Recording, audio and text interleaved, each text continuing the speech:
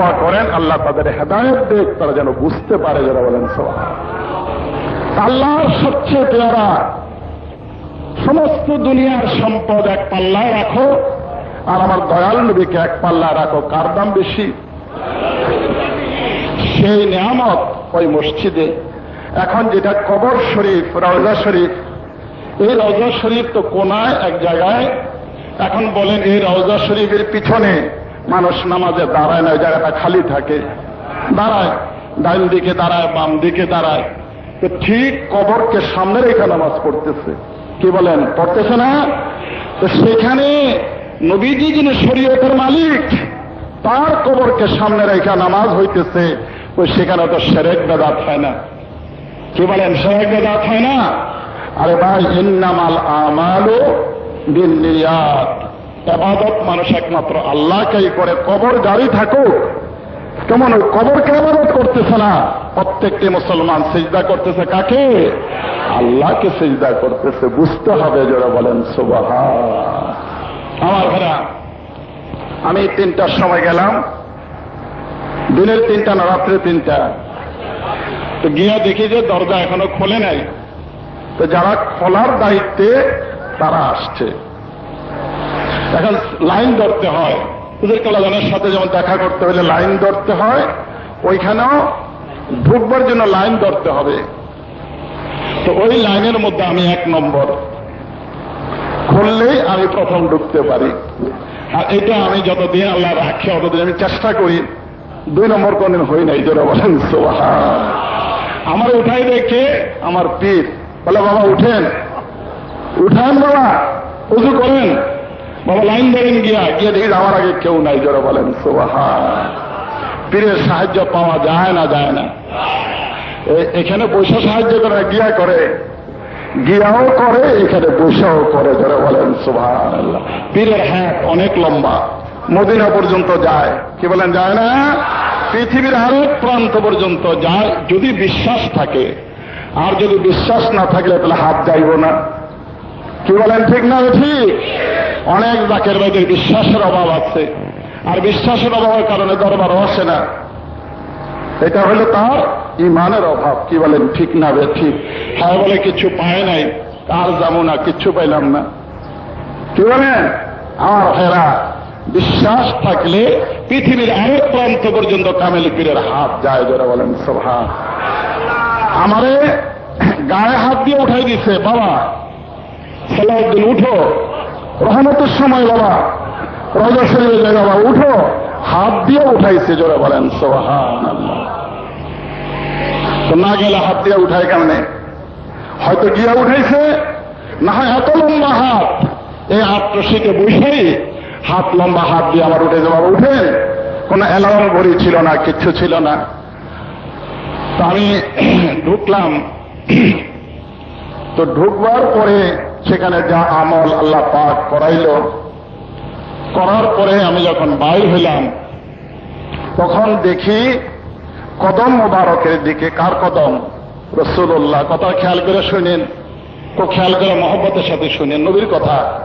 রসুল্লাহর কদম মোবারক, কবরের তো কয়টা সাইড আছে আছে না? একটা হইল সির মোবারক। ওদিক দিয়ে যাবেন না। নবীর রওজা শরীফ মাথার দিকে যাবেন না। নবীর রওজা শরীফের পায়ের দিকে থাকলেই নিরাপদ। কি বলেন, ঠিক না বে? ঠিক। আর ডাইন দিকে আছে, বাম দিকে আছে। বলেন তো, নবীজি কবর মোবারকে যে, ওনার মাথা মোবারক, সির মোবারক, কোন দিকে? আট্রশীতে বড় পিরাম্মা শুয়ে আছে, ছোট পিরাম্মা শুয়ে আছেন, বড় দুলাবাইজান শুয়ে আছেন বেহেস্তের বাগানে। ওনাদের মাথা মোবারক কোন দিকে? উত্তর দিকে। আর কদম দক্ষিণ দিকে, আর চেহারা মোবারক পশ্চিম দিকে, ক্যাবলামুখী রাখতে হয়। ক্যাবলামুখীটা হলে আসল। এখন ক্যাবলামুখী রাখতে হলে মাথা আপনার উত্তর দিকে দেওয়া লাগবে এবং ডাইন কাত। কেমন? দক্ষিণ দিকে দিয়েও কিন্তু ক্যাবলামুখী করা যাবে, কিন্তু ডাইন কাইট হবে না, এটা বাম কাইট হবে। কি বলেন, ঠিক না ঠিক। রসুলের নিয়ম দেখেন, কত সুন্দর। এই জন্য আমরা উত্তর দিকে, আপনারা বলেন যে রসুল্লাহ সির মোবারক কোন দিকে? কোন দিকে? এক ভাই বলছেন পূব দিকে। কোন দিকে বলেন? পূব দিকে যদি মাথা মোবারক দেন, আর মদিনার কেবলা হলো দক্ষিণ দিকে, তো দক্ষিণ দিকে যদি রসুল পাকের চেহারা মোবারক ঘুরাই দেন, তাহলে কোন কাইতে হবে? বামকে দিকে রাখে, ডাইন কেটে রাখতে হবে। তা ডাইন কাইতে রাখতে হইলে নবীজি স্থির মোবারক, মদিনার সমস্ত লাশ তাদের মাথা কোন দিকে রাখে? পশ্চিম দিকে ইসমিল্লাহ রহমান রাহিম। হারাম। নামাজ পড়লেও চেহারা কেবলের দিকে, আর কবরও রাখল চেহারা মোবারক কোন দিকে থাকে? কেবলার দিকে থাকবে জোরে বলেন সুবাহার আল্লাহ যারা নাস্তিক, দেখেন যে খোদা মানে না, তাগো চেহারা কেবলার দিকে দিয়ে দেয়, জোরে বলেন সুবাহার কোনদিন সে কাবা মানে নাই কেবলা মানে নাই। আমার জানাজা চায়। জানাজা না পড়াইলে মৌলবীর উপর রাগ হয়ে যায়।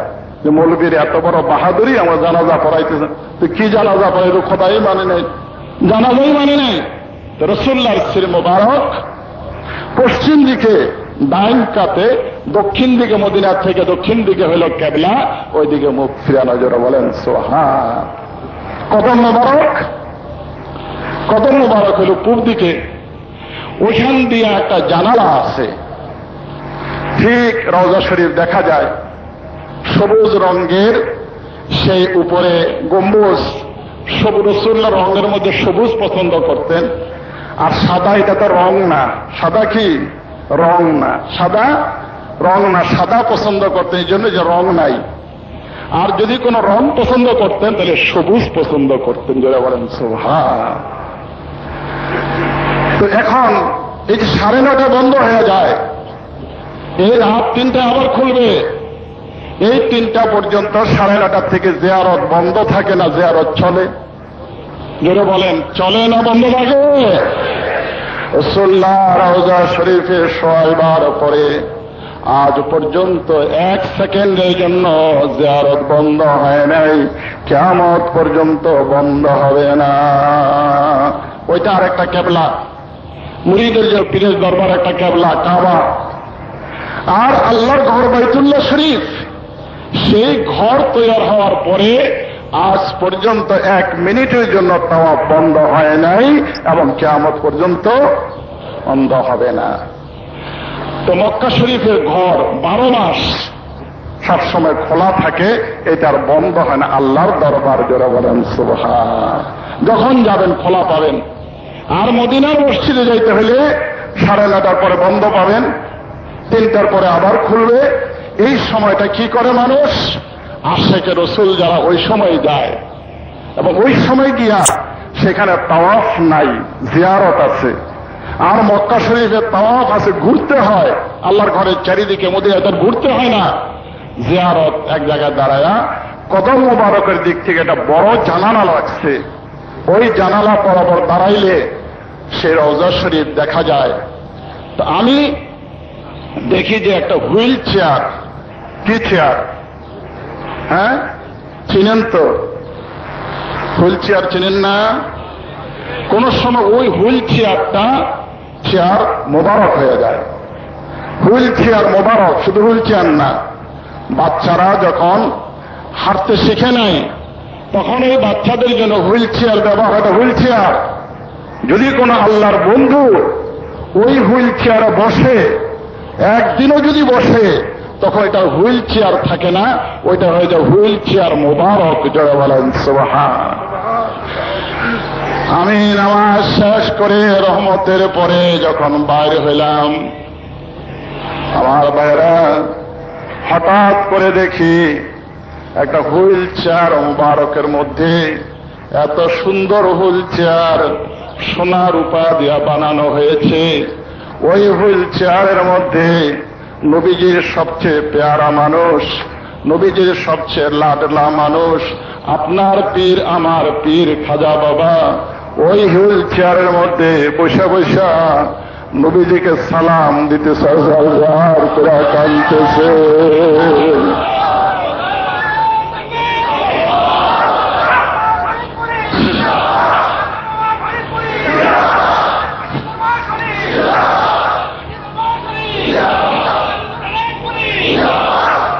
হুইল চেয়ার যিনি নিজে বসেন, উনি চালায় নিতে পারেন না। বাচ্চা। কোরআন শরীফে আছে, মানুষ বুড়া হইলে বাচ্চা হয়ে যায়। সুরাই ইয়াসিনের মধ্যে আজকে সকালে পড়া হয়েছে দাদা হুজুরের জন্য অনেক তালাওয়াত হয়েছে আমি কিছু তালাওয়াত করছি। ওমান নুআম্মিরুহু নুনাক্কিসুহু ফিল খালক, আফালা ইয়াকিলুন বুড়া হয়ে গেলে মানুষ শিশুর মতো হয়ে যায়, শক্তি কমে যায়। একটা বাচ্চা নিজে নিজে হাঁটতে পারে না, তারে কোলে নিয়ে হাঁটাইতে হয়। ঠিক না বে ঠিক? এক জায়গার থেকে আরেক জায়গায় নিতে হলে তারে কোলে করে নিতে হয়, না হাইটা দিতে পারে। কোলে করে নিতে হয়। মানুষ বার্ধক্যের কারণে এই সময়টা আবার ফিরে আসে। কে বলেন, আসে না আসে না? আসে। তখন বাবা কোলে করে নেয়। আর যখন বাবা বৃদ্ধ হয়ে যায়, তখন ছেলেরা কোলে করে নেয় যারা বলেন, সোবাহান। আহা এই জন্য বলছে ছেলেদেরকে তোমার বাবা যখন বুড়া হয়ে যায় তখন মনে করবা তোমার আরেকটা ছোট সন্তান জোরে বলেন সোহা তার উপরে বিরক্ত হইও না فلا تقل لهما اف ولا تنهرهما وقل لهما قولا كريما আমার বাবার সেই বয়সটা আসছে আমার বেলার দেখলাম ওই হুইল চেয়ার ধাক্কা ধাক্কা নেওয়ার জন্যে দুইজন নুরানি চেহারাওয়ালা যুবক, যিনি বর্ষাবলিত বৃদ্ধ দুজন যুবক নুরানি চেহারাওয়ালা, বাংলাদেশি মনে হয় না ওই হুইল চেয়ার মোবারকের দুইটা হ্যান্ডেল ধরে দাঁড়ায় আছে, একজন মিয়া ভাইজান, একজন মেজ বলেন, সুবহানাল্লাহ। আমি ভাবলাম যে এটা কি দেখলাম, সেই দেখা আমার। স্বপ্নই বলেন, আর বাস্তবেই বলেন, দুটোই সম্ভব। কি বলেন, সম্ভব না অসম্ভব?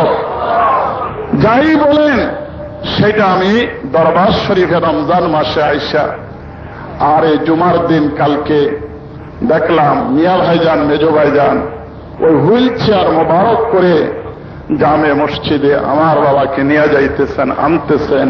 আমার সে কতদিনের সেই দেখা এবং স্বপ্ন যে এটা এমন একটা সময় আসবে বাবা, তোমার পীরের। এই সময়টা আসবে, ওই সময়টা আল্লাহ পাক নিয়ে আসছে। কীভাবে আমি বুঝাবো যে খাজা বাবা কোন দরজার বলি খাজা বাবা তেয়ার নবী সাল্লাহ আলাই সাল্লামের কত মহব্বতের মানুষ। আলে মোলামা বাংলাদেশের মৌলবী সাহেবরা চিনতে পারল না, শুধু বিরুদ্ধে ফতুয়াই দিয়া গেল। জোরে বলেন, আফসোস, জোরে বলেন সুবাহান আল্লাহ সেই মহান অলির গোলাম হওয়ার মুরিত হইতে পারি নাই। কিছু আমল করতে পারি না, সময় পাই না। যে গোলাম হওয়ার কালকে রহমতের সময় আমার প্রাণটা ভরে গেছে। এত কষ্ট এই সময় আমাদের কিছু মনে থাকার কথা না। আমি চিরদিন যদি শুকুর গুজারি করি এটা আদায় হবে না। বলতেছেন আলহাজ মাওলানা সালাউদ্দিন। আবার কি কইতেছে জানেন? ভাইস প্রিন্সিপাল ঢাকা আলিয়া মাদ্রাসা। আমার আলিয়া মাদ্রাসাও ধন্য। ওলি আল্লাহর জবান থেকে কতবার ওই আলিয়া মাদ্রাসার নামটা আসছে। ওই আলিয়া মাদ্রাসা কেয়ামত পর্যন্ত থাকলে ইনশাআল্লাহ। আমার কেবলাজার হুজুরের সেই আলিয়া মাদ্রাসার মানুষ আমার বিরোধিতা করে কেন? আমি আক্রোশে আসছি। কিন্তু আলিয়ার মানুষ, তোমরা মনে রাখো, আমার উসিলা আমি এখানে আসার উসিলা গোলাম হওয়ার উসিলায় ঢাকা আলিয়া মাদ্রাসার নাম পত্র পত্রিকায় পোস্টারে শুধু বাংলাদেশে না, বাহিরে ঘরে ঘরে, আর মহান অলির রহমতের সময় ওই ঢাকা আলিয়া মাদ্রাসার শব্দটাও কেবলাজান হুজুরের জবান থেকে বাইরে হয়েছে, জোরে বলেন সুবহান আমার জীবন ধন্য, আমি যেখানে চাকরি করি, সে প্রতিষ্ঠানও ধন্য, জোরে বলেন সোহাল এই জন্যই নামটা আসছে, ওই ঢাকা আলিয়া মাদ্রাসা সতেরোশো আশি সনে, কয় সনে? সতেরোশো আশি সনে, ওই কলকাতায় ব্রিটিশ আমলে হজরত শাহ শ্রী ওয়াজেদ আলী রহমতুল্লাহ আলী আমাদের তাওই হুজুর হজরত খাজা এনায়েতপুরি দাদা হুজুর, তাদের জমানায় সেখানে মুরব্বীর একজন আল্লাহর ওলি, তিনি প্রথম ওই মাদ্রাসা সেখানে কায়েম করেছিলেন, জোরে বলেন সোহার আল্লাহ অলি আল্লাহ কায়েম করছে বইলা আজকে সেই দুইশত কত বছর হিসাব করেন? সতেরোশো আশির থেকে উনিশশো পঁচানব্বই প্রতিষ্ঠান আছে কেমন পর্যন্ত থাকবে। কারণ অলি আল্লাহরা যেটা করা যায় সেটা থাকে জোরে বলেন সোহার বিশ্বজাকের মঞ্জিল আলিয়া মাদ্রাসা, বিশ্বজাকের মঞ্জিল জামে মসজিদ, বিশ্বজাকের মঞ্জিল মুস্তাসফা মুস্তাসফা মানে হাসপাতাল, আরবিতে। এগুলি কেমত পর্যন্ত থাকবে। এই জন্যে এটা অলি আল্লাহ করে গেছে জোরে বলেন সোহান আল্লাহ অনেকের সন্দেহ, বাবা যখন থাকবে না, তখন কি এগুলি থাকব? লেখা রাখার এগুলি থাকবে ইনশাআল্লাহ, জোরে বলেন সোহান আল্লাহ জাকের মঞ্জিলও থাকবে তরিকাও থাকবে সব কিছু ইনশাল্লাহ থাকবে। কারণ আল্লাহর বন্ধু, নবীর সবচেয়ে পেয়ারা মানুষ, এগুলি করে গেছে, এগুলি ধ্বংস হতে পারে না, জোরে বলেন সোহান আল্লাহ সেই স্বপ্ন আল্লাহ আত্মশীতে দেখাইলেন। ওই হুইল চেয়ার মোবারক, আমার ওই কথাটা মনে পড়ে গেল, এটা আমি ভিতরে রাখতে পারলাম না। আপনাদেরকে আমি জানাইলাম যারা বলেন সোহান আল্লাহ ওই আজমির শরীফে আরেক খাজা অনেক মানুষ যাদের জ্ঞান কম বুঝতে পারে না, তারা বলে যে খাজা তো একজন হয়। ওই খাজা তো আজমির শরীফে ঘুমায় আছে। আট্রসির পীর সাহেব কি করে খাজা হইল? এগুলি কারা কয়? যাদের জ্ঞান কম, কমও না একটা নাই। জিরো। জ্ঞান যাদের জিরো, এটা তারাই বলতে পারে। মাওলানা কয়জন? মাওলানা কি একজন হয়? কি বলেন? মাওলানা কি একজন? হাজার হাজার মাওলানা। প্রফেসর কি একজন? প্রিন্সিপাল কি একজন? ভাইস প্রিন্সিপাল কি একজন? হাজার হাজার যেরকম হয়, খাজাও এরকম হাজার হাজার হয়। প্রত্যেক জমানাই খাজা হয় ধরে বলেন সোহা জ্ঞান না থাকার কারণে বলে যে খাজা তো একজন। মইনুদ্দিন চিস্তি উনি তো আজমিরে শুয়ে আছে। গিয়া দেখলাম তারাগড় পাহাড়। খাজা বাবা গেছেন। তারাগড় পাহাড়। পাহাড়ের উপরে বিরাট এক পাথর। এই পাথরের ওজন কত হবে? কয়েক মন না, কয়েক শত টন ওজন হবে পাহাড়। এই পাহাড় ঝুলন্ত অবস্থায়, খেরের পাড়া দেখছেন না? খেরের পাড়া জমিনের মধ্যে লাগায়া দেয় না। লাগাইলে মাটিয়ে খের নষ্ট করে ফেলায়। একটা চকি বানায়া, উগুর বানায়া, তারপরে খেরের পাড়া হয়। তাও একটা সাপোর্ট আছে, তাই না? ওইখানে দেখলাম তারাগড় পাহাড়ের উপরে, প্রকাণ্ড পাহাড়ি এলাকা, তার উপরে বিরাট এক পাথর। ওই পাথর কয়েক হাজার টন ওজন হবে, বিরাট পাথর। ওই পাথর মূল পাহাড়ের উপরে, প্রায় এক হাত উপরে ঝুলন্ত অবস্থায় আছে যারা বলেন আল্লাহ কোন ঠিকা নাই সাপোর্ট নাই। এটা কেন হয়েছে? খাজা বাবা মইনুদ্দিন চিস্তি রহমতুল্লাহকে মেরে ফেলার জন্যে অলি আল্লাহদেরও দুশ্মন থাকে। খারাপ লোক তারা চায় না অলি আল্লাহ থাকুক। কি বলেন, থাকে না? থাকে। অসুখ বিসুখ হইলে আমরা নানান চিন্তা করি, বাবার কেন অসুখ হইল? কত পাগল আসে, নামাজ পড়া বাইরে হলে জাবরায় ধরে। আর হয় ওই সময়ের পৃথ্বীরাজ, জালিম অত্যাচারী রাজা ইসলামের ক্ষতি করার জন্যে, মুসলমানদের ক্ষতি করার জন্যে খাজা বাবার ক্ষতি করার জন্যে জাদুঘর কেদেরকে দিয়া চালান দিয়েছিল, পাথর চালান দিয়েছিল, এত বড় পাথর। এটা চালান দিচ্ছে জাদুঘর দিয়া বোধ জয়পাল তার নাম, যে এটা উঠতে উঠতে গিয়া খাজা বাবার মাথার উপরে পড়বে। কয়েক হাজার টন যদি হয়, নিচেও পাথর, পাহাড়ি এলাকা। আর এটা যদি মাথার উপরে পড়ে, বাঁচব? কি বলেন, বাঁচব? একদম নিষ্পেষিত হয়ে যাবে। কাসফিন মাকুল। নিষ্পেষিত হয়ে যাওয়ার কথা। এটা চালান দিছে। কখন? তখন খাজা বাবা নামাজ পড়তেছিলেন। নফল নামাজ পড়তেছিলেন জোরে বলেন সোহান এখন খাজাবার মাথার উপরে এসে যখন এটা ল্যান্ড করবে খাজাবার মাথার উপরে যখন পড়বে, তখন এলহামের মাধ্যমে নামাজের মধ্যে আল্লাহ জানায় দিচ্ছে যে, খাজা, তোমার মাথার উপরে দেখো পৃথ্বীরাজের বিরাট পাথর। চালান দিছে। আল্লাহ পাক পুরা ক্ষমতা বন্ধুকে তখন দিয়া দিছে যে পাওয়ার আমি পুরা দিয়া দিলাম, তোমার পছন্দ মতো তুমি করো, জোরে বলেন সোহান আল্লাহ ওই নামাজের হালতে শুধু একটু ইশারা করলেন যে, পাথর, তুমি একটু দেরি করো, আমাকে সালাম ফিরাইতে দাও, জোরে বলেন সোহান আল্লাহ ওলি আল্লাহর নামাজ, হুজুরি কালবের সাথে পড়ে যতক্ষণ নামাজে রইলেন এতক্ষণ এয়ারপোর্টে যেরকম প্লেন ল্যান্ড করে না, নিচের থেকে যদি সবুজ সিগন্যাল না পায়, কি বলেন, ঠিক না বে, ঠিক? এইটা প্লেনের মতো ঘুরতেছিল যারা বলেন সোহান আর ওই বেটায় মন্ত্র পইরা পইরা খালি বারবার বলতে, ধপাস করে পর কিন্তু পরে না, খালি ঘুরে খালি ঘুরে। নামাজ সালাম ফিরায়া, আল্লাহর বলি খাজা, জমানার খাজা পাথরকে ইশারা করলেন। খাজা বাবা ফরিদপুরিও মাঝে মাঝে আমাদেরকে ইশারা করেন। এই ইশারা বড় রহমতের জোরে বলেন সোহান কালকে অনেকক্ষণ তাকায়া থাকলেন, কথা বলতে কষ্ট। হয়তো বহু কিছু বলতে চাইছিলেন, বলা হলো না। কিন্তু এই যে তাকাইলেন, এই তাকানের মধ্যে দুনিয়ার কথা কিন্তু লুকায়িত আছে, কি বলেন, ঠিক না যে ঠিক আল্লাহ আর হাত দিয়ে ইশারা করলেন, উতরো। নিচে নামো। পাথর নামলো থপাস করে পড়ে নাই। গাছের থেকে যেরকম পাল পড়ে, এরকম করে পড়ে নাই। প্লেন যেরকম নামে, এরকম করে আস্তে আস্তে আস্তে আস্তে এ হাতে নাগাল পা এ পর্যন্ত যখন আসছে, তখন তিনি হাত মোবারক লাগায় দিয়ে বলেন ফের যাও। থেমে যাও। পাথর থেমে গেল। নামাজের অবস্থায় বসে হাত লাগাতে থেমে যাও। পাথর থেমে গেল, ওজন কত? কয়েক হাজার টন, জোরে বলেন উপরে আর পর্ব কি? রোদ ছিল, এটা ছায়া হয়ে গেল যারা বলেন সোহান আল্লাহ হ্যাঁ? মায়া ফেরানোর জন্য পাঠাইল, কিন্তু এটা ছায়া হয়ে গেল সাদ হয়ে গেল যারা বলেন সোহান আল্লাহ তো খেদমত করলে কি হয় জানেন?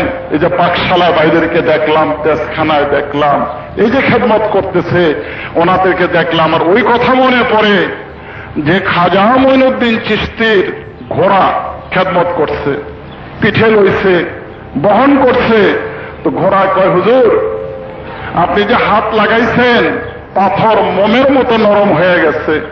তো নরম হওয়ার কারণে আল্লাহর অলির হাতে যেন ব্যথা না পায় এই জন্য একদম নরম হয়ে গেছে।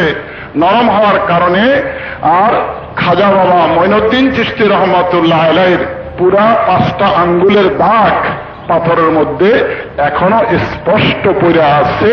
যেরকম মাকামি ইব্রাহিম মাকামি ইব্রাহিম আল্লাহর ঘরের সামনে ইব্রাহিম ইসলামের পায়ের চিহ্ন আছে প্রায় দুই ইঞ্চি আড়াই ইঞ্চি গভীর জোরে বলেন সোভা বিসমিল্লাহ রহমান রাহিম ওয়াত্তাখিজু মিন মাকামি ইব্রাহিম মুসাল্লা واتخذوا من مقام ইব্রাহিম মুসাল্লা অনেকে বলে যে কদম বুসি করা জায়েজ নাই ওইখানে ইব্রাহিম আলাইসাল্লামের সেই কদমের চিহ্ন শুধু কদম বুঝি না বলছে যে ওইখানে তওয়াফ শেষ করিয়া দুই রাকাত নামাজ না পড়লে নামাজের মধ্যে সেজদা আছে না নাই দুই রাকাত নামাজ না পড়লে তার হজও কবুল হবে না তওয়াফও কবুল হবে না জোরে বলেন সুবহান واتخذوا من مقام إبراهيم مصلى عبادة الله কিন্তু সম্মান দেখাইতেছে কার? ইব্রাহিম খলিলুল্লাহর। বন্ধুর সম্মান দেখাইলে বন্ধু খুশি হয়, আল্লাহ খুশি হয়েছেন জোরা বলেন, সুবহান। আমার ভাইরা, তো ঘোড়া বলে যে, হুজুর, আমি যে খেদমত করলাম, তো আমার এই খেদমতের কি কোনো বদলা পাবো না? আমি একটু চিহ্ন রাখতে চাই। তো খাজা মইনুদ্দিন চিস্তি বললেন যে, আপনার ঘটনো লাগাবো ঘোড়ার হাঁটু আছে না? যে তুই লাভ দিয়া তোর হাঁটুটা পাথরের মধ্যে লাগাই দে। ঘোড়া লাভ দিয়ে হাঁটুটা লাগাই দিছে। সেটাও প্রায় আধা ইঞ্চির মতো গভীর হইয়া সেই ঘোড়ার হাঁটুর চিহ্ন আছে আর আল্লাহর গলির হাতের চিহ্ন এখনও আছে। যদি আপনি কালকে যান, কালকেও দেখে আসতে পারবেন। আর ওই যে পাহাড়টা যে অবস্থায় তিনি ঝুলাইয়া রাখছেন ঠার যাও, তার থেকে এক ইঞ্চি নিচে এ পর্যন্ত নয়শো বৎসর হয়ে গেছে, কয়শো বৎসর? এক ইঞ্চি নিচে নামে নাই, কত ভূমিকম্প হল? এবং কেয়ামত পর্যন্ত নামবে না, ওই মাপে কেয়ামত পর্যন্ত থাকবে, জোরে বলেন সুহাল তো পাথর যদি ঝুলা থাকতে পারে বিশ্বজাকের মঞ্জিলে প্রতিষ্ঠানগুলি, আমার বাবা যদি না থাকে, এগুলি থাকব না থাকব না। আল্লাহ ভাই পাঠশালার আবেদনে ভাই পেয়ার ভাই খান সাহ আপনারা সকলে তিন নম্বরে শেখ আসেন سيدنا مولانا اللهم صل على পাঠশালার প্রধান জাকের ভাই আপনার তিন নম্বর হলো শেখ আসে।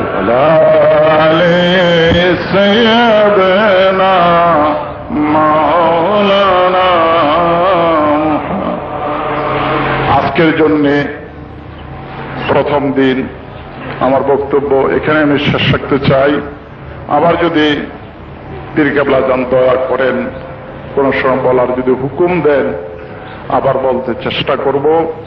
হুজুর কাবলা যান। এই সময়ে বারোটার পরে এক ক্ষত বিলাদ শরীফ পড়ার জন্য ভাই খান পেয়ার ভাই এক খতম মিলাদ শরীফ সকলে তিন নম্বরে শেখ আসেন। হুকুম দিচ্ছেন হুজুর কেবলা জানেন সে খাস হুকুমের মিলাদ বারোটার পরে এক খতম মিলাদ শরীফ পড়ার জন্য হুকুম দিচ্ছেন আমাকে ডাইকা নিয়া বলছে যে বাবা বারোটার পরে স বারোটার দিকে এক খতম মিলাদ শরীফ পড়বেন হুজুর কেবলা জানের খাস হুকুমের মিলাদ। সেই এহতেমাম, সেই সম্মান, সে ভাব নিজের মধ্যে রেখা এখন কি হাঁটা যাবে না হাঁটা বন্ধ রাখা দরকার? হ্যাঁ হাঁটা বন্ধ রাখা দরকার। এটা একটা বিশেষ সময়ে মিলাদ, এটা বিশেষ মিলাদ। কেবলা হজুর খাস হুকুমের মিলাদ, সবাই মহব্বতের সাথে বৈশা মিলাদ শরীফে আপনারা অংশগ্রহণ করেন أعوذ بالله من الشيطان الرجيم بسم الله الرحمن الرحيم إن الله وملائكته يصلون على النبي يا أيها الذين آمنوا صلوا عليه وسلموا تسليما اللهم صل على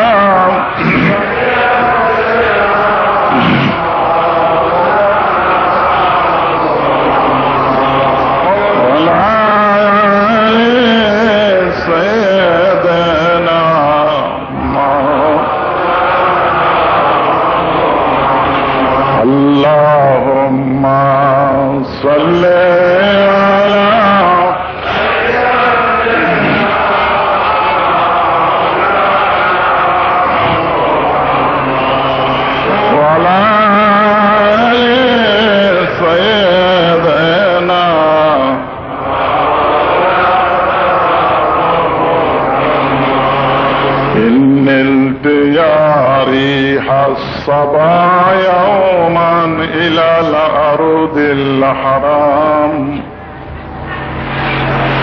হে সকালের বাতাস আমি তো মদিনায় যাইতে পারি না হে সোয়া বারোটার বাতাস আমি তো মদিনা যাইতে পারি না সাধ্য নাই তো তুমি তো মদিনায় যাইতেছ বাতাসটা মদিনায় যায় তো আটরশির তরফ থেকে কোটি কোটি জাকেরদের তরফ থেকে এই সময় দয়াল নবীকে ওই রওজা শরীফে, সোনার রওজা শরীফে আমাদের সালামটা পৌঁছায়া দিও। এটাই আরবি ভাষায় বলছে, ইন্নেল তেয়ারি হাসাবায়ামান ইলাল আরদিল হারাম। بلغ سلامی روزتن فیها النبی المحترم اللهم صل على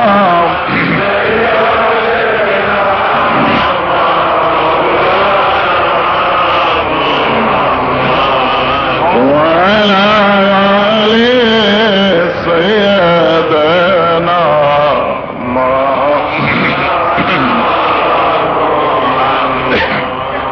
আপনারা কি বলেন?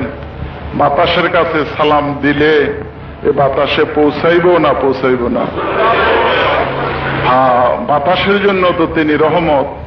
নবী যদি না হইতেন, বাতাসও তো হইত আর কালকে যে ভাগবার নিয়ত করে আসতো, যে একদিন থেকে আসি, পরশু যে ভাগবার নিয়ত করত, এই নিয়ত বদলায়া যাবে, মঙ্গলবার ছাড়া যাওয়ার কোনো উপায় নাই, জোর বলেন সোহান আল্লাহ তো এটা আমাদের জন্য ভালো হয়েছে না খারাপ হয়েছে আমাদের জন্য হরতাল না থাকলেও ভালো হইতো আবার হরতাল থাকলেও ভালো হয় বলি আল্লাহর কাজ এরকমই হয় জোরে বলেন সোহান সবাই আমার সঙ্গে পড়েন أعوذ بالله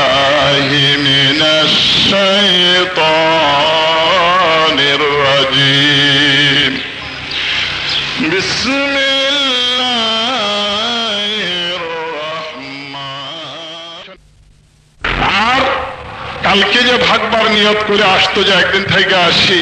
পরশু যে ভাগবার নিয়ত করত, এই নিয়ত বদলায়া যাবে, মঙ্গলবার ছাড়া যাওয়ার কোনো উপায় নাই, জোরে বলেন সোহান আল্লাহ এটা আমাদের জন্য ভালো হয়েছে না খারাপ হয়েছে আমাদের জন্য হরতাল না থাকলেও ভালো হইতো। আবার হরতাল থাকলেও ভালো হয় বলি আল্লাহর কাজ এরকমই হয়, জোরে বলেন সোহান সবাই আমার সঙ্গে পড়েন। أعوذ بالله من الشيطان الرجيم. بسم الله الرحمن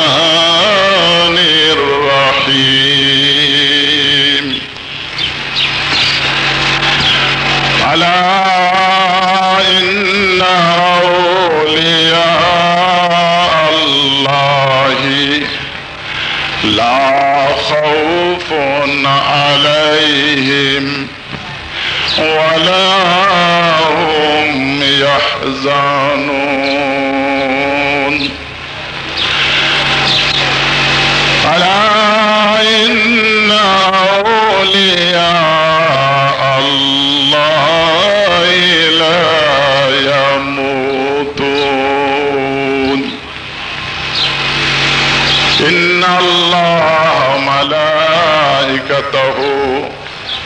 يصلون على النبي. يا أيها الذين آمنوا صلوا عليه وسلموا تسليما. صلى الله على صلى الله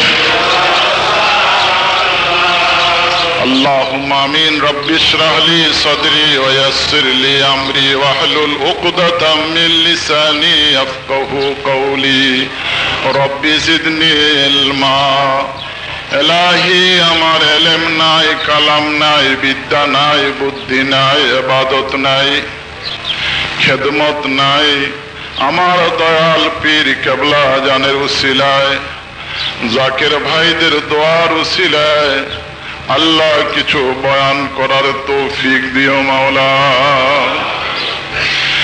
এলাই করম তু আপনা আগার করে ও বাদ দে জবা খুজ দিল পর আসর করে।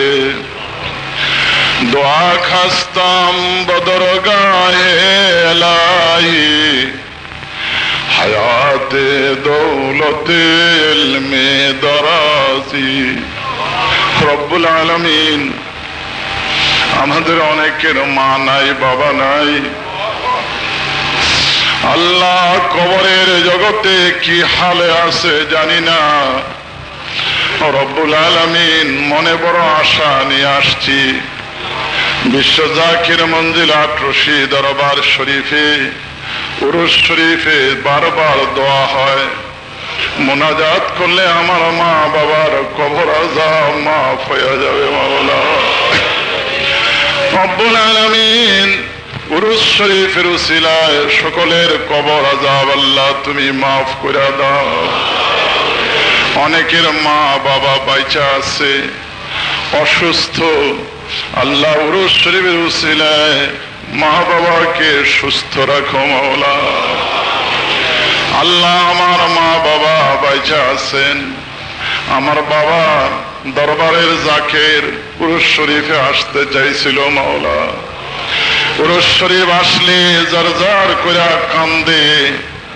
এত লোকের ভিড়ের জন্য সাহস করে আমি আনি না। রব্বুল আলামিন সমস্ত জাকির ভাইদের মা বাবা যারা ঘরে অসুস্থ আছে, বার্ধক্যের কারণে কষ্টে আছে। আল্লাহ, পুরুষ শরীফের সকলকে তুমি সুস্থ করে দিও আল্লাহ।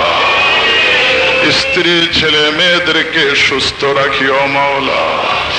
আল্লাহ অনেকে ঘরে তালা লাগায়া সপরিবারে উরুস শরীফে চলে আসছে। আল্লাহ চোর, ডাকাত, সকল রকমের বিপদ, আপদ থেকে জাকের ভাই বোনদের জান, মাল বাড়ি ঘরের হেফাজত তুমি করিও মাওলা। আলামিন মা বাবার মতো আমরা একদিন চিরনিদ্রায় ঘুমায়া যাব। দশ গজ সাদা মার্কিন কাপড় পিন্দা মাথায় গিঠু, সিনায় গিঠু, পায়ে গিঠু দিয়া। কয়েকজন বান্ধবের কান্দে চোরা গোরস্থানের দিকে রওনা হইয়া যাব। চার হাত লম্বা, দুই হাত পাশ, আড়াই হাত গভীর মাটির গর্তের মধ্যে শোয়া। বাঁশের ফালি বিছায়া, চাটাই বিছায়া। যখন কোদাল দিয়া মাটি টাইনা সিনার উপরে দিতে থাকবে, চিৎকার দিয়া বলব, বাবারা, আমার সিনার উপরে আর মাটি দিও না। আমার কবজে অন্ধকার হয়ে যায়। মাওলা, কেউ শুনবে না। শত শত মন মাটি চাপা দিয়া ওই অন্ধকার কবরের মধ্যে চিরদিনের জন্যে ফালায়া চলে আসবে। হয়তো আর কোনোদিন খবরও নিতে যাবে না। ওই কবরে একদিন যাওয়া লাগবে। কবরে যাওয়ার আগে মহাপবিত্র উরুস শরীফের উসিলায় আমাদের জীবনের সমস্ত গুণা মাফ করে দিও আল্লাহ। রব্বুল আলমিন যত কথাই বলি, আমার দয়াল বাবার অসুস্থতার কথা বলতে পারি না। আল্লাহ দিন রাত হরহ বাবার চিন্তায় সমস্ত জাকেরান পেরেশান। নিজের বাবার অসুখ হইলে এত খারাপ লাগে না। নিজের মায়ের অসুখ হইলে এত খারাপ লাগে না। নিজের স্ত্রীর অসুখ হইলে এত খারাপ লাগে না। নিজের ছেলে মেয়ের অসুখ হইলে এত খারাপ লাগে না। আল্লাহ কেন আমাদের এত খারাপ লাগে আল্লাহ? আল্লাহ, তুই মানুষের মনের অবস্থা বুঝোস। এই লক্ষ লক্ষ কোটি কোটি তোর বান্দা খাজা বাবার মুড়িদা সকলের দিলের মধ্যে তুই শান্তি দিয়া দে আল্লাহ।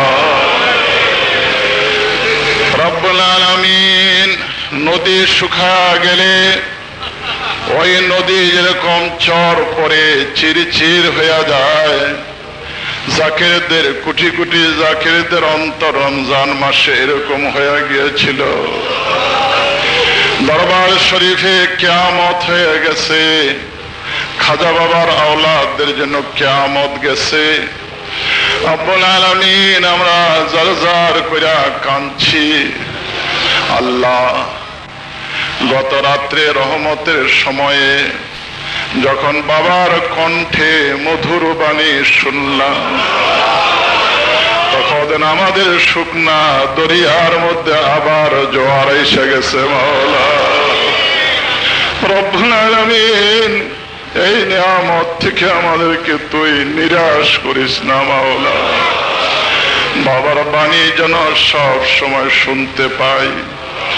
বাবা আগে যেরকম সুন্দর কইরা হাইটা হাইটা মসজিদে আসতেন, আল্লাহ তোর কাছে দরবার, তোর দরবারে ফরিয়াদ। বাবা যেন আবার হাইটা হাইটা জামে মসজিদে গিয়ে আমাদেরকে নিয়ে নামাজ পড়তে পারে আল্লাহ। আল্লাহ, বাবার জীবনের সব আশা পূরণ হয়েছে বড় আশা ছিল মক্কা, মদিনা যাবে, অসুখ হইয়া গেল। বাবাকে হায়াত দাও, শক্তি দাও। হাইটা হাইটা গিয়া যেন মক্কা, মদিনা, হজ করে আসতে পারে আল্লাহ। আল্লাহ, তোর শক্তির কোনো পারাপার নাই। পাহাড়কে সাগর, সাগরকে তুই পাহাড় বানাইতে পারোস। আল্লাহ বাবাকে সুস্থ কইরা দে, আল্লাহ বাবার গায়ে শক্তি দে। আল্লাহ বাবাকে তুই হায়াত দারাজ করে দে আমাদের মনের আগুন তুই নিবাইয়া দে আল্লাহ লক্ষ কোটি মানুষকে তুই নিরাশ করিস না আল্লাহ, আমি জানি বাবা নিজের জন্য তোর কাছে কিছুই বলে না। যদি বলতো, আল্লাহ, তুই নিশ্চয়ই শুনতি। বলি আল্লাহরা নিজের জন্য বলে না, নবীরা নিজের জন্য বলে না। মানুষের জন্য বলে, মুরিদানদের জন্য বলে। আল্লাহ আমরা লক্ষ কোটি তার মুরিদ সন্তান। তোর কাছে ফরিয়াদ জানাই, আমার বাবাকে আল্লাহ তুই সুস্থ করে দে আল্লাহ। বাবাকে হায়াত দরাজ করে দে আল্লাহ। আল্লাহ আল্লাহ। আল্লাহ।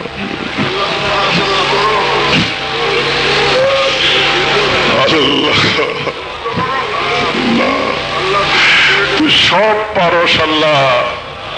তোর শক্তির পারাপার নাই আল্লাহ। উরস শরীফের উসিলায় সম্পূর্ণ সুস্থ করে দে আল্লাহ। বাবা যেন হাইটা মসজিদে যাইতে পারে, শক্তি দে আল্লাহ। আল্লাহ, সমস্ত সুখ ভালো করে দে আল্লাহ। بحق لا إله إلا الله محمد رسول الله আমার প্রাণ প্রিয় জাকের ভাইরা একবার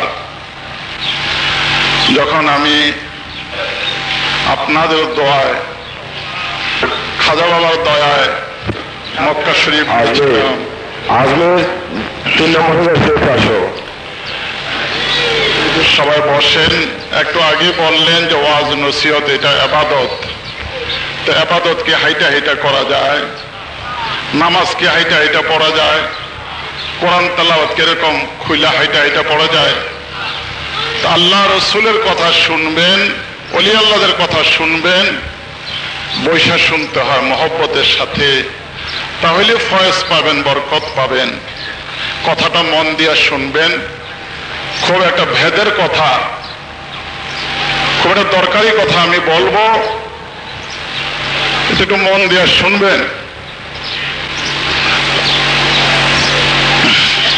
যে যেখানে আছেন, আপনারা, আমি, আপনাদের জাকের ভাই, এই কথাটা একটু মন দিয়ে সবাই শুনবেন।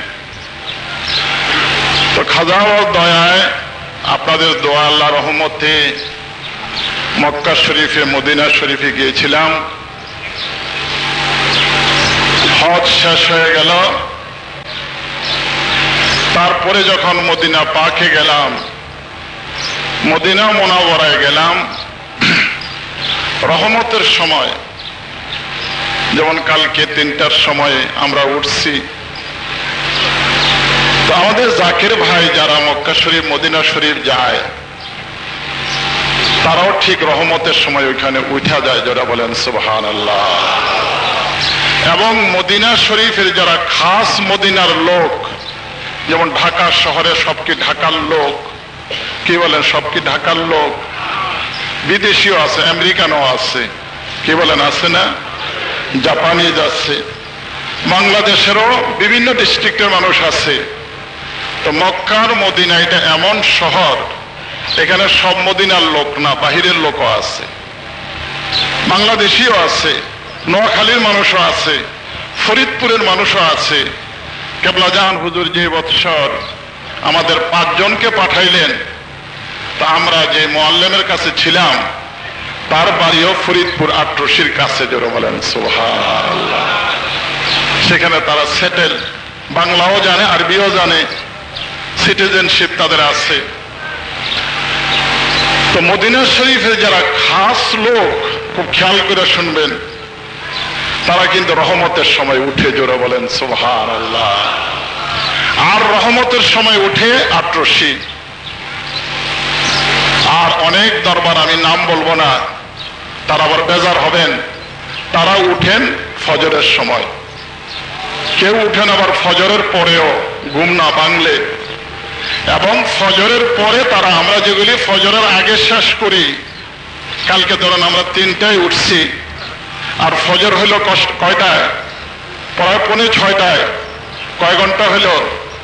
এই যে পৌনে তিন ঘণ্টা যে আমলটা করি, এইটা তারা ফজরের পরে করে, আর আমরা করি ফজরের আগে।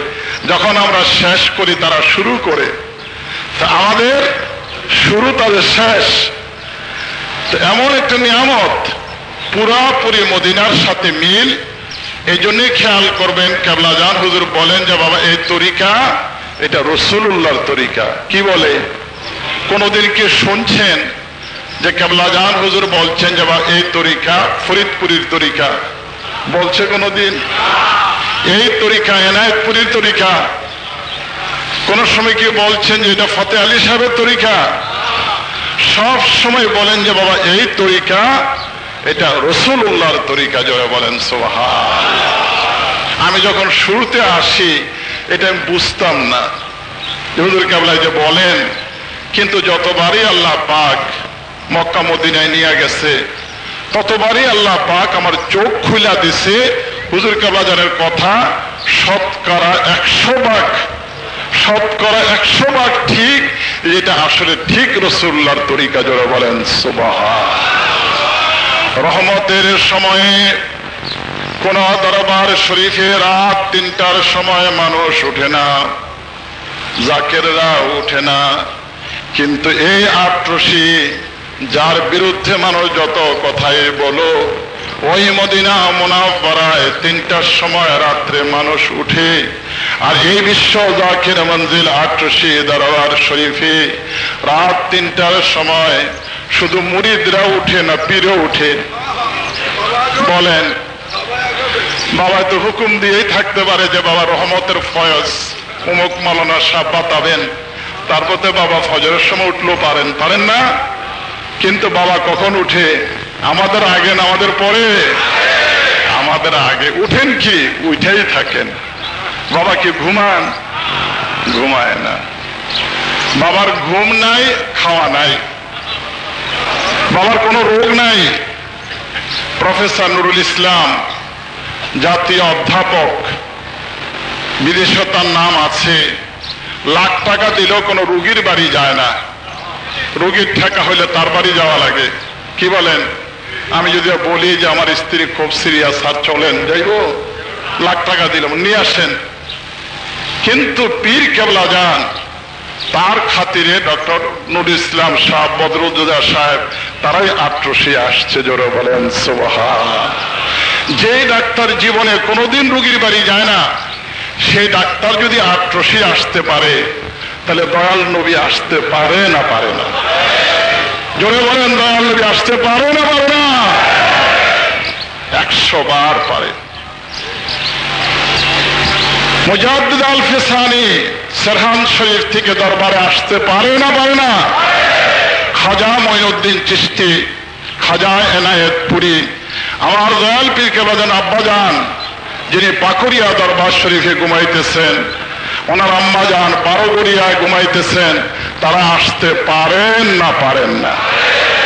বলবেন যে, কই দেখি না তো, দেখার জন্যে যোগ্যতা থাকতে হবে। আপনি কি এক্স রে রিপোর্ট দেখে বুঝতে পারবেন যে কি অসুখ? আমিও তো পারব না। ওইটা খালি একটা প্লেট দেখব। কিন্তু এটার ভিতরে কি রোগ? এটা ডাক্তার সাহেবরা বুঝবেন। কি বলেন, ঠিক না ঠিক। সমস্ত অলি আছে।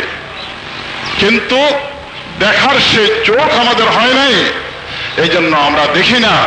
তবে না হইলেও দুই চারজনে যে দেখে না, সামনে করেন না। খেদমত বৃথা যায় না।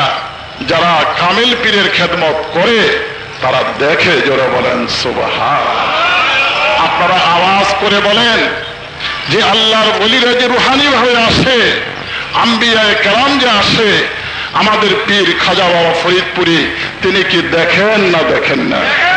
জোরে বলেন, দেখেন না দেখেন না? এই জন্য উরুস খাজা বাবা স্যান্ডেল মোবারক পায়ে দেন না। বলে, বাবা, কোথায় পাও দিব? আমি তো দেখি হাজার হাজার বলি আল্লাহরা আমার দাওয়াতে মেহমান হয়ে আসছে। যদিও অ্যাম্বাসেডার সাহেবরা আসে নাই। এইবার বিশিষ্ট কার্ড, দাওয়াতের কার্ড দেওয়া হয়েছে, আমিও বিলাইছি। কিন্তু এমন বদনসিব তারা, রাষ্ট্রদূত, কিছু না, তারা আসে নাই। তোমরা না আসলে কি হবে? যাকে আল্লাহ পয়দা না করলে দুনিয়া পয়দা করতো না। তারা আসে জোরে বলেন যে বলি আল্লাহ এই দুনিয়াতে পৃথিবীর ইসলাম ধর্ম, তারা আসে। তোমার মতো মানুষ অ্যাম্বাসেডার তোমার মতো একজন সেক্রেটারি তোমার মতন একজন সেকেন্ড সেক্রেটারি তোমাদের আসলেই কি না আসলে কি? দাওয়াত দেওয়া কাজ আমার কেবলা যান দাওয়াত দিয়েছেন, যার কপাল ভালো সে আসবে, যার কপালে না সে আসতে পারবে না কি বলেন, ঠিক না বে, ঠিক আল্লাহ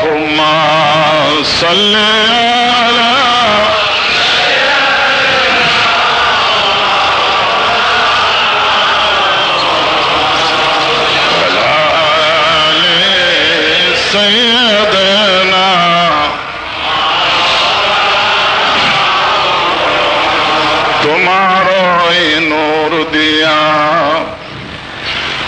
নূর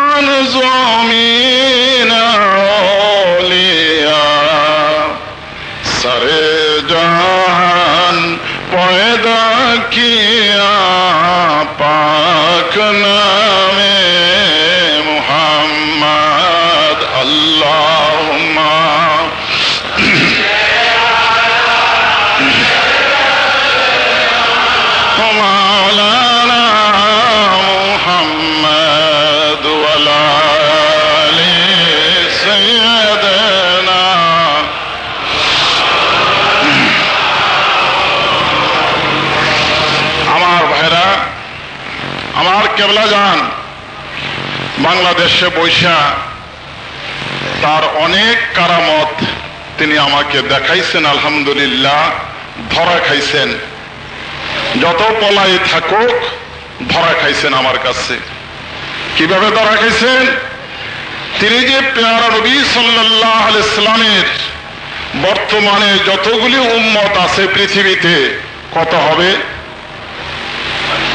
বর্তমানে আজকের দিনে সারা পৃথিবীতে নবীর উম্মত কত আছে? কয়শো কোটি? আচ্ছা আমি জানি না। ভাই বলছেন ছয়শো কোটি আছে বলে। দেড়শো কোটি মুসলমান, ছয়শো কোটি ওদের মোট লোক। তাই না? এই সমস্ত মানুষের মধ্যে একজন মানুষ আছে, তাকে দয়াল নবী সবচেয়ে বেশি মায়া করে। লাডলা। নবী কা বহুত প্যারা। নবী কা লাডলা একজন লোক আছে। এই সারা পৃথিবীতে এখন যত লোক আছে মুসলমান، এর মধ্যে একজন লোক নবীর খুব লাডলা، নবীর খুব پیارا پاکستان کے بہت بھائی عرس شریف میں شریک ہوئے میں مبارکباد ان لوگوں کو بولتا حضر قبلہ جان کی طرف سے پاکستانی بھائی الكل انما এখ আল মুসলিম আহুল মুসলিম। আজকে ফজরের পর এক পাকিস্তানি ভাই নামাজ শেষ হওয়ার পর আমার ধরে এমন কান্দা কান্দল তার ব্যাখ্যা নাই, কেন কান্দতেছে সে বলে, যে আমরা পাকিস্তানি। এটা যে এত বড় দরবার, এত বড় আল্লাহর অলি আমরা জানতাম না। কাঁদছি এজন্যে। পাকিস্তানের সব মানুষগুলি যদি বুঝত, তাহলে খুব ভালো হইতো, জোরে বলে সোহা পাকিস্তান থেকে আমরা এত কেন কম লোক আসলাম? পাকিস্তানে ভাই আল্লাহ তালা এ লোক বহুত خوش قسمت চাঁদ আদমি آدمی চাঁদ چاند আদমি। हुजूर कबला के खदमत में जो लोग शरीक हुए ये बहुत बड़े बदकस खुशकिस्मत आदमी है जरा बोलें अल्हम्दुलिल्लाह আল্লাহর কাছে আমরা এই দোয়া করি মদিনা মোনাব্বরাত থেকে নবী যখন মক্কা শরীফে প্রথম সাতজন আইছিল কয়জন সাতজন তারপরে একুশ জন তারপরে বোধহয় চল্লিশের মতো। এরপরে গোটা বদিরা হয়ে গেছে রসুলের জোরে বলেন সোহান আল্লাহ এবং তারা মদিনায় তাকে নিয়েও গেছে জোরে বলেন সোহান আল্লাহ পাকিস্তান থেকে আসলাম ভাই, আলহাজ।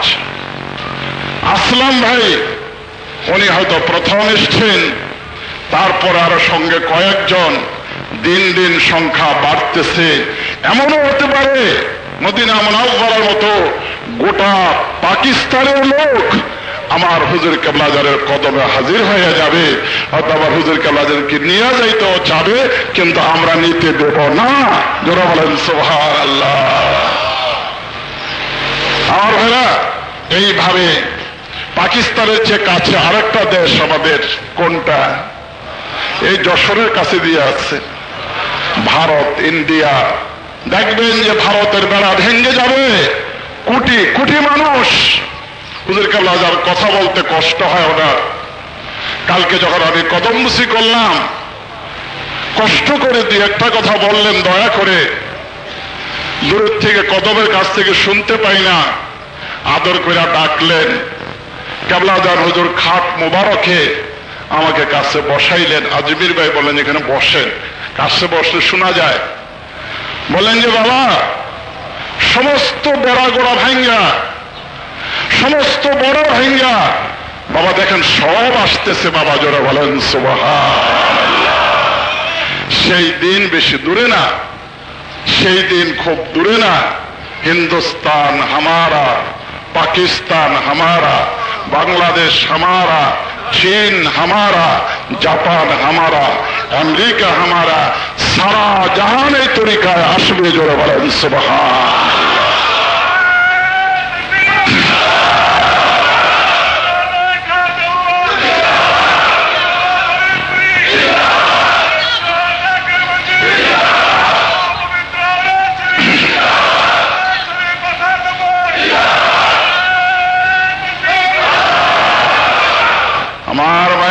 মদিনা মোনাব্বরায় ওই রহমতের সময়ে সে বছর আমি একা গিয়েছিলাম।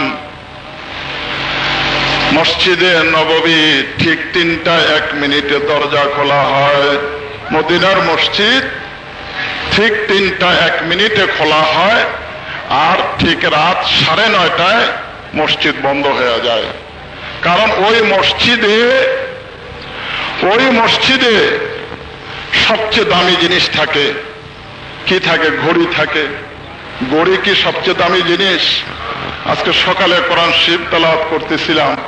এক জাকির ভাইয়া বলে যে, কোরআন শিব তালাওয়াত বন্ধ রেখা একটু ঘোষণা দেন, আমার ঘড়িটা হারাই গেছে।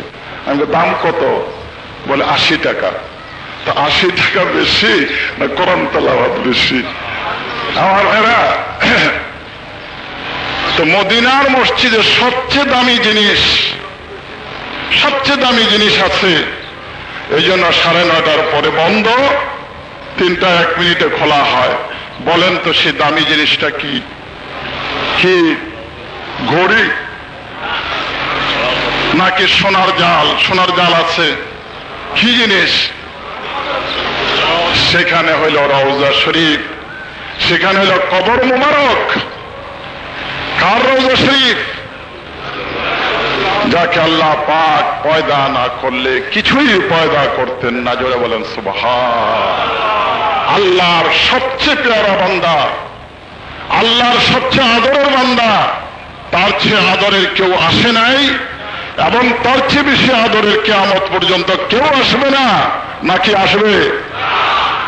সেই আল্লাহর পেয়ারা বন্ধু, দোস্ত আপনার নবী, আমার নবী, বিশ্ব নবী, বিশ্ব নেতা মোহাম্মদুর রসুল্লাহ সাল্লাহ সাল্লাম ওই মসজিদের ভিতরে এক কোনায় ঘুমাইতেছেন, জোরে বলেন সুবাহান আল্লাহ মৌলবী সাহেবরা, যারা বেদাত বেদাত করো, সেরেক সেরেক করো, এগুলো বড় মুসিবত। আমরা কত মহব্বত নিয়ে উরুস শরীফে আসি আসি না? আবার দেখেন এই পিছনে পিছনে প্যান প্যান করতেছে যে এগুলি বেদাত, এগুলি সেরেক, সব দুদকের পথে যাইতেছে। আট্রসি আসতে বলে দুদকে যায় যারা বলেন না